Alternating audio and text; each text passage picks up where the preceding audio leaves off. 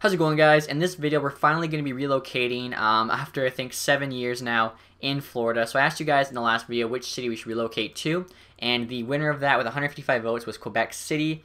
Uh, second place we have Halifax with 45 votes and third there we have Miami with 36 votes. So what I'm going to do is try and get to Quebec City as that's uh, obviously the popular vote. Almost half the people uh, voted for Quebec City. Now for whatever reason we can't go to Quebec.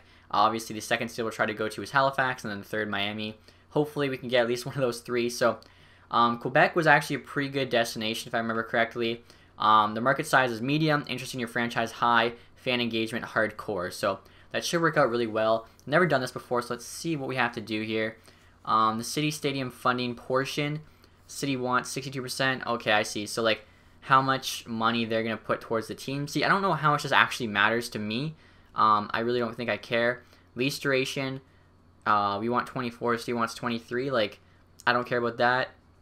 Concession revenue sharing, uh, we want to give them 6%. They want 7 Game day ticket revenue sharing, they want 6 We're offering 5 Same with merchandise. Um, park rev parking revenue sharing, uh, City wants 9. We're giving them 11. So for whatever reason, we're giving them more than they want. So we can put that down to 9. Um, and then the City Stadium funding portion, see if they give us like an extra percent or something. Um, honestly, I don't care like about this stuff. I just want to see if we can move. Um, they're good with everything but the city stadium funding portion. So let's try 64%. That's what they had it at. And there we go, deal is accepted. That was pretty easy. And as you guys can see here, I can either click on complete deal or I can back out of the deal or I can request time to think. But I mean, I feel like it's a pretty good. Um, I don't really care, I don't think, especially with like three years left in the franchise mode. It looks like we got pretty much what we wanted. We had to like move on a couple percentages, but uh, that is it. So we'll complete this deal. Uh, we are now in Quebec City. So we get to choose a name. Obviously, I think we're going to go with the Quebec City Nordiques. Alright guys, so I just finished customizing everything for the new team. Obviously, team name Quebec City Nordiques. Uh, team nickname Nordiques. Play-by-play team name Quebec Teamwork. Unfortunately, Nordiques isn't available. Abbreviation QC. Arena name Centre Vidéotron. I believe is the actual arena name in Quebec City. All right, there's a look at the home jerseys, which I think are pretty sharp. Obviously, I went with a more kind of basic look, but um, I like them. Blue with some white and a little bit of red. Uh, logos and branding here, obviously you already seen the Nordique logo. I think I got it pretty much exact in terms of like the right shade of blue and the right shade of red. Unfortunately though, you can't have like a white outline around the whole logo, which kind of sucked for the home jersey, but obviously it didn't affect the away jersey. Secondary marks, you have a blue Q and a white Q. Unfortunately, the uh, fleur-de-lis um, wasn't available for like a secondary mark. That would have been sick to have on the jersey as well as the shoulders, but just going to have to settle with the Qs there. So team uniform, you guys already got to look at it, but Here's a look at the home uniform. Like I said, I actually like how it turned out. Really simple. Just a couple white stripes on the on the jersey as well as these socks. All blue there. You got the logo again on the shorts. Um, lots of blue, but honestly, I don't think it looks too bad. The away is probably the one I like better though. Um, obviously, the logo doesn't clash as much. Uh, there's no outline on the home like I was saying, so it's like blue on blue there. But the away looks really sharp. Um, not so much blue. Really like this one. I didn't bother making an away. Uh, sorry, not an away. An alternate jerseys. I don't think I'll ever use it, but um, right there you can see the alternate. Like I said, never going to use that. Um, as well, here is a look at the goalies. I just basically just made it all white equipment with a bit of blue and put some uh, red on the stick. Uh, the away goalie there has the exact same equipment. So uh, hopefully you guys liked how those turned out, and uh, hopefully we can finally win a Stanley Cup. Now in Quebec City, I don't believe Quebec City's ever won a Stanley Cup before, so that'd be awesome if we could win them one. Obviously, we have three years left to do it. For here, guys, I just got a notification saying that relocation will take place next offseason before the entry draft, so I messed up uh, doing the entry draft first. I guess we're going to be in Florida for one more year, but um, I guess the last two years will be in Quebec, and hopefully we can have two good years. So we get, I guess we get another chance to win Florida Cup, and then maybe we can get like back-to-back cups, one in Florida, one in Quebec. Also, guys, I just remembered I forgot to show you the new team arena, but I realized it's not too big of a deal as the only time we'll ever see it is if we win the Stanley Cup and it's a home game. Um, otherwise, like we're never gonna see it. And I just left it as default too. Uh, so the team colors were taken into effect in terms of like the seating and that stuff. Uh, the logo's at center ice, but other than that, pretty basic arena. Like I was saying, I don't play the game, so I didn't really want to spend too much time customizing something I'm pretty much never going to see. So now the resign phase, back to business here. As you can see, we have 14.9 million in cap space, which isn't too much. Luckily, most of our team is locked up. Uh, Masherin, really solid fourth line center. Uh, definitely going to give him a new contract. So he wants 2.75. I'm thinking we can probably get him for 2.5 for three years. Uh, lock up the fourth center there. Uh, Blunkfist is a decent um, AHL guy, so qualify him. That's actually it for the centers. Left wings, uh, Stan Haynes needs a new deal. This is going to be scary. I mean, he hasn't actually gotten any better since we drafted him, but still 23 years old, 90 overall. He's going to get a scary contract. 9 million. Um, he actually only wants 8.9. I don't know why we're giving him 9. Um, that's pretty pretty high. So if we can get him for like 8.5, that's actually a really good deal. Three years is all we have left, so might as well just do the three years there. Ovechkin's down 83. Gonna have to let Ovechkin go there. We still have Backstrom left from that deal though, so I'm happy with it. Nolan Patrick's an 81. Um, this is yeah another one million one year deal. Waiting for him to finally get good. He's only got two years left to grow, so I might just for sure trade him this summer. I think. Um, this guy here, Reeves, what's he want? 750k. We'll do that.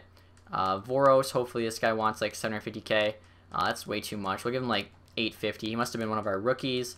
Um, this guy's 20 years old. Oh, we gotta make sure we sign him. I uh, don't want to lose him to free agency.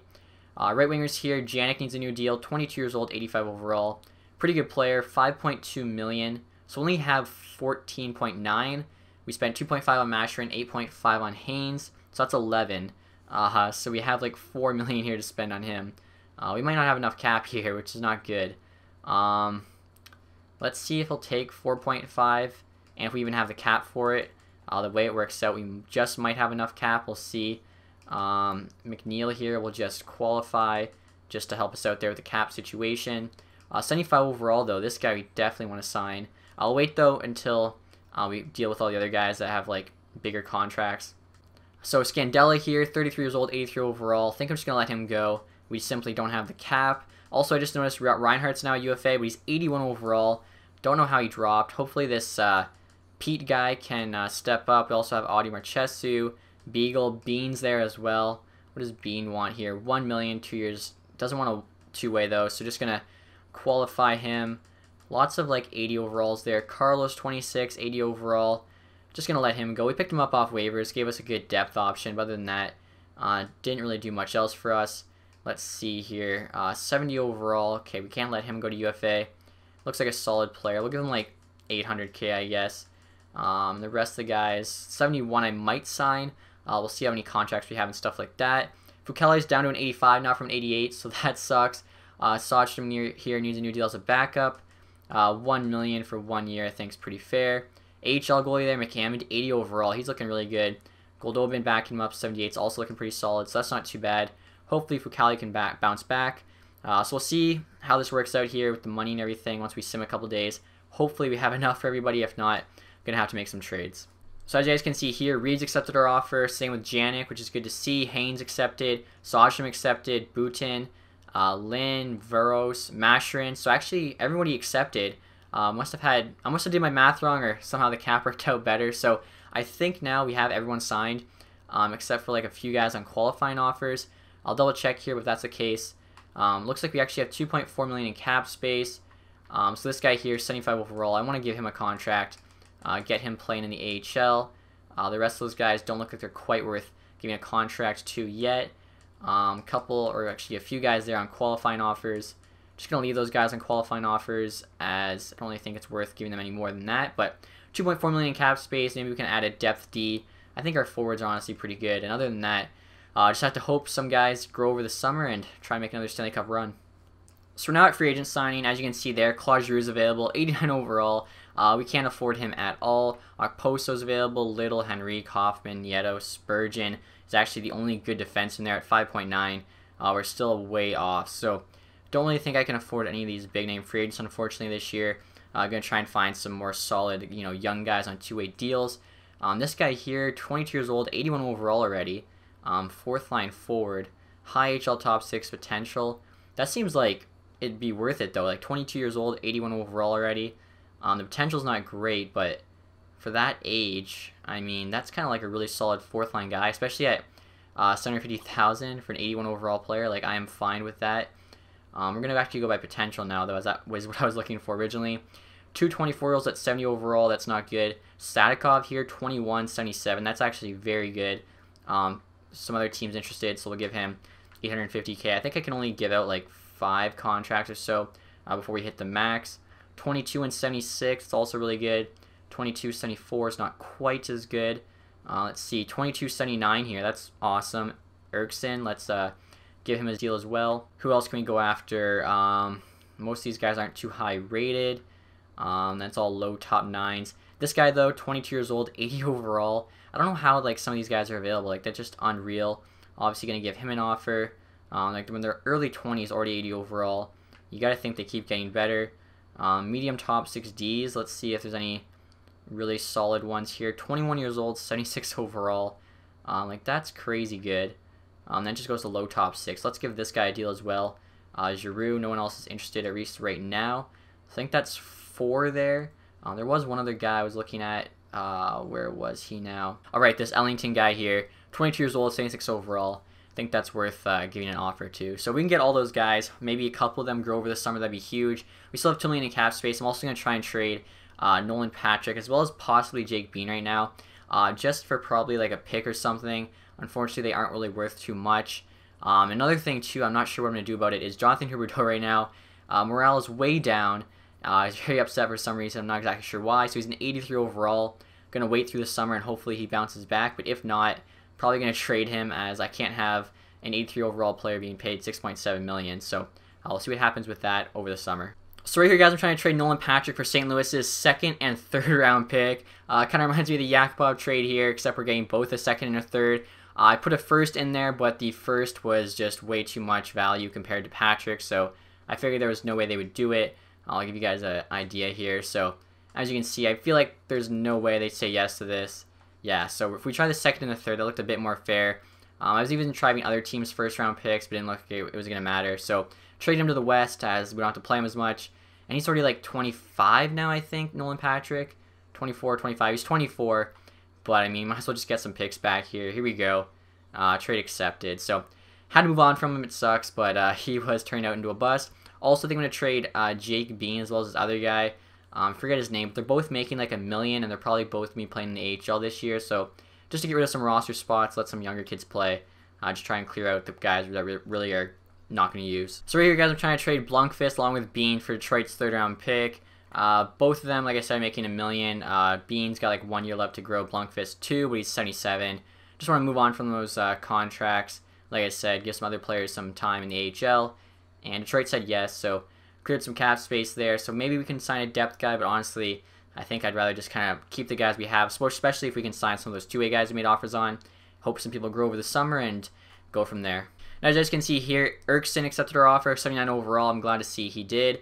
Uh, Drew unfortunately rejected, went to Philly, so we should have gave him more. I think we offered him 750. Hines uh, appreciated the interest, but decided to go with another team. I think we also offered him 750. I should have been offering these guys uh, like 850 plus. Uh, Bulma accepted though, 80 overall. Ellington rejected. Roster's full, so we have to go trade more guys. Uh, Sadikov accepted. So uh, let's try and trade like our worst player and then go sign uh, that Ellington guy again. So Reeves is probably one of my worst prospects. Uh, Top 9 4 potential, but he's 24, only 77. Trying to get a fourth round pick back here from Anaheim. Um, they say yes, so that worked out well. So like I was saying, guys, after that trade, we're going to make Ellington another offer. Also, I noticed this other pretty good player available who's on a two-way deal.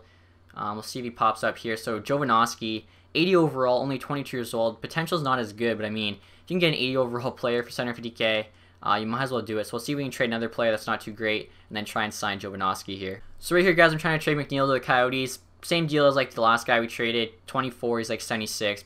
Not going to make the NHL. And they say yes. We get a free fourth round pick out of it, who hopefully we can turn into, you know, a better prospect. I'm going to go sign that Jovanovski guy now. He looked really good, so I'll make sure I give him like the, I don't know, 850k. A little bit more than you want, as in case, you know, some team tries to come in and steal him. He'll probably start off like first line AHL center. If we have any center injuries, he'll definitely get the call up though. And right here, guys, we look at the owner goals for next year. Primary goal, 27 sellouts, which will be pretty tough if everyone knows we're leaving. Secondary goals, win the President's Trophy, as well as sell 85% of the suites, which will also be pretty tough um, if people know we're leaving. Say the team is still a champion team. Owner still expects us to make a cup run, so we'll see if they can do that for him here in our last year in Florida.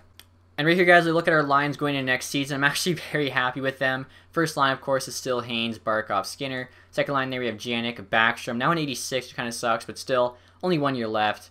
Um, very good player. And then Pairs Hogan there, taking Huberdeau's spot, who's down to an 83, playing on the third line. If he can get that overall back up, obviously he'll go back to the second line. Bjugstad there, an amazing third line center. He's back to an 87. He dropped to an 86 last year. Hinostroza there, third line right wing. So our top nine is very solid. Actually, our whole forward group is very solid. We got Ruutu there, 84, uh, fourth line right wing. Masher in center, and then Strome there on the fourth line left wing. So I'm really happy with the forward group, especially if Huberdeau can turn it around. Defense here, Josi's dropped a bit. He's down to an 87, but still uh, very solid defenseman. He's actually only got one year left, so works out well. Top pair there with Ekblad. Second pairing, we got Polka and Masonov. He's now an 85. And then Zadorov and Pete on the bottom pair. I almost picked up a defenseman. Glad I didn't. This Pete guy's an 83 now, 22 years old. Really happy with what he's doing uh, for us. Goalies here Fucale, like I said, some reason dropped to an 85. McAmmond, though, is an 82, so he's actually the backup now, as he's one overall higher than Sodstrom. Looking at the AHL team here, they're also going to do some damage, hopefully, this year. Uh, Stahl, Jovanovski, Hodges, first line. Demore, Yoshi, O'Brien on the second. Uh, Boma, Poulin, and Erickson on the third. Then Method, Holt, and Benson on the fourth. Uh, defense here, we actually have 480 overalls in the AHL. We got Gervais, Beagle, Audie Marchesu, Champion, uh, Jeans, and Black, I guess you would say his name, or Blake. Uh, goalie there, we have Sodstrom with Goldobin back him, backing him up. So, really happy with both teams. Um, I'm not sure if I'm as confident as I've been in the past in terms of winning the Stanley Cup, but I think we should for sure at least get into the playoffs. And then once you're there, we know anything can happen. Um, AHL team here ratings 86 offense, 83 defense, 82 goaltending. NHL team 96 offense. That's actually the, the highest I think I've ever had it. Uh, 93 defense, 87 goaltending. So last year in Florida, uh, would love to go out with a bang, and then we got two seasons in Quebec after that to round out the entire series. And that's it for this video, guys. Hopefully you enjoyed. If you did, leave a thumbs up. Thanks for watching. Have a nice day. Goodbye.